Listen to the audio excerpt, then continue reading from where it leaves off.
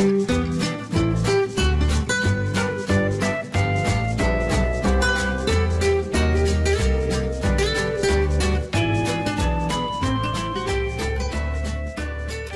can put your imagination inside drawing and have creative creative.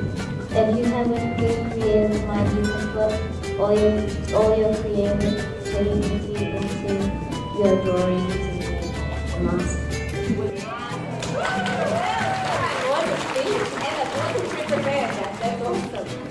That's right. So if you want to build a house, you think you need to draw it first?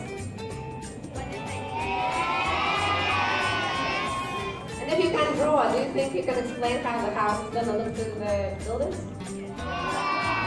Probably not. you, what, what will you be doing? You'll be saying, I want to drain up and left and right. How would you do it? Yeah?